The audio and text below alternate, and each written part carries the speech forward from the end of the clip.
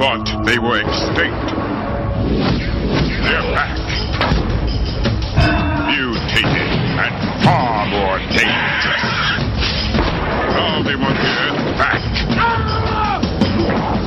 Only one man with mammoth firepower and a taste for big game can make dinosaurs extinct again.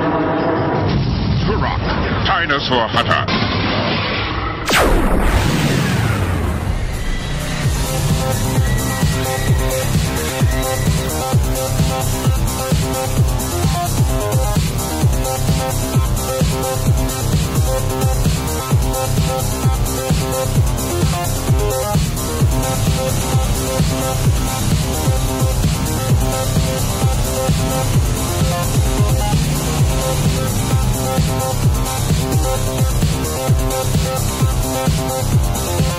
back. What's up, people of the internets? Welcome to the Razorgrid Presents. Well, let's start with a little history lesson, shall we? In 1954, the world was introduced to a Native American warrior who found himself lost in a cave for an unknown amount of time until he reached the other side and discovered that dinosaurs still exist and he has quickly come to realize he's much lower on the food chain than he originally thought. Originally, the story was put out by Western Publishing and Dell Comics, and later Gold Key Comics, and it wasn't until the early 90s that Valiant Comics revived the series where I first discovered it. Game publishers Acclaim and developers Iguana acquired the rights and began developing on the game in 1996. Turok was presented as a first person shooter and released on the N64 on January of 97. I still remember watching the commercial for it and it, it just blew my mind. I got it for Christmas that year and immediately became a fan of Tal'Set and his quest to bring justice back to the Lost Lands. While portal jumping from level to level, you must obtain pieces of a weapon called the Chronoscepter in order to defeat the Campaigner, a warlord and tyrant and all around bad dude. The score was composed by Darren Mitchell, a musician out of Texas and the primary composer of Iguana Entertainment. Mitchell provided a great score of tribal inspired music for the game, ranging from minimal drums and synths to more upbeat pieces to amp up the action. I particularly love the boss themes. But let's talk more to rock. Yeah, I went there, sorry. The Razorgrid presents Turok, Dinosaur Hunter.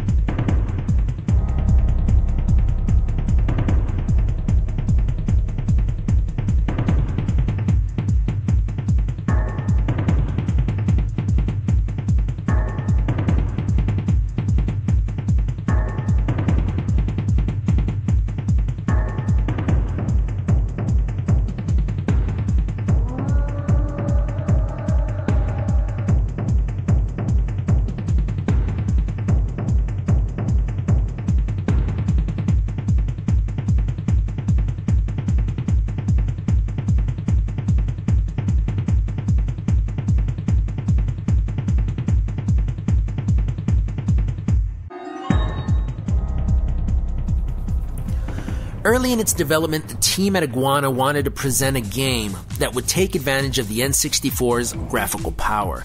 Side scrolling was becoming a thing of the past, so they decided on the third person perspective, which definitely would have made it feel much different. Eventually, it became a first person shooter. Considering how violent and action oriented it was, developers were worried about what Nintendo was willing to allow on their console.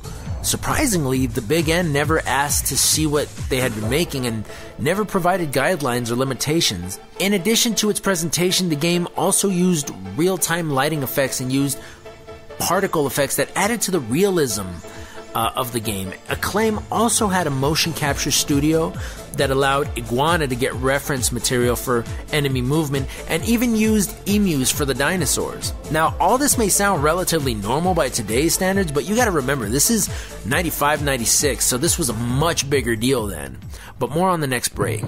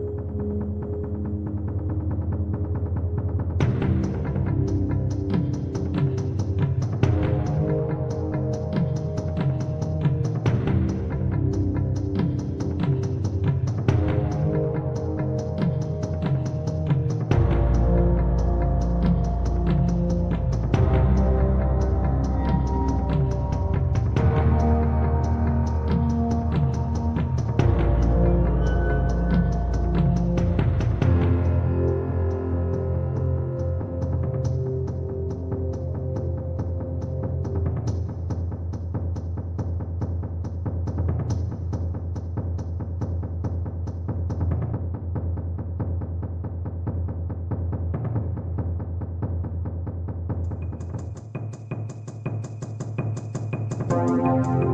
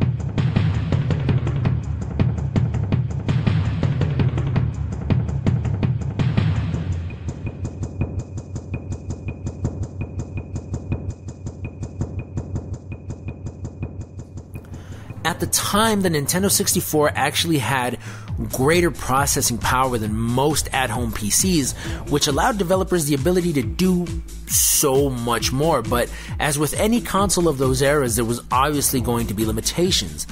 As a kid, though, I was around maybe 12 at the time. This game looked, felt, and sounded like paradise. I had never played anything that beautiful. I was seriously in awe every every time I popped the cartridge in. The box art alone was fantastic, with a Turok about to plunge his knife into a raptor's face while the raptor was swiping at his side, leaving bloody gashes. It was pretty epic. For those who bought the game new, might also remember that it came with its own mini comic following Tal'Set and Warrior in Training Joshua Fireseed.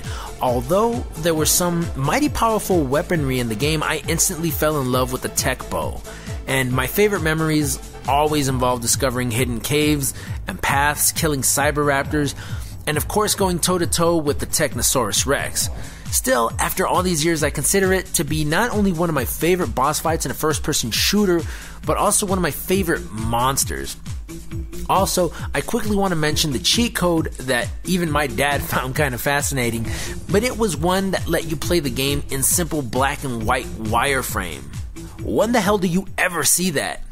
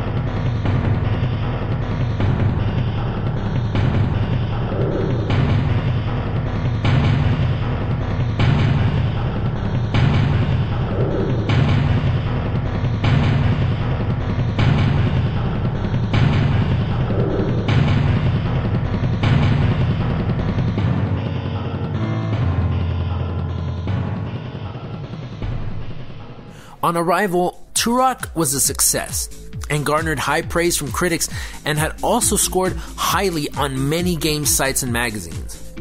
Reviews praised the gameplay, graphics, and developer Iguana's ability to create superior games for the system. Some publications, however, would go on to say the game brought nothing new to the first person shooter genre or kept comparing it to other shooter offerings of the time. Um, there weren't many fans of the game's war fog, more commonly known as distance fog, used to reduce slowdowns in the game.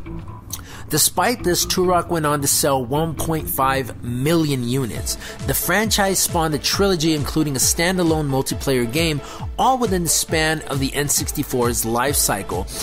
Even as late as 2016, a full two decades later, Nightdive Studios remastered Turok Dinosaur Hunter and its sequel Seeds of Evil. Guys, thanks again for listening and taking this trip with me, and stay tuned while I follow up with the bigger, louder, and even bloodier sequel, Turok 2 Seeds of Evil. I'll see you then.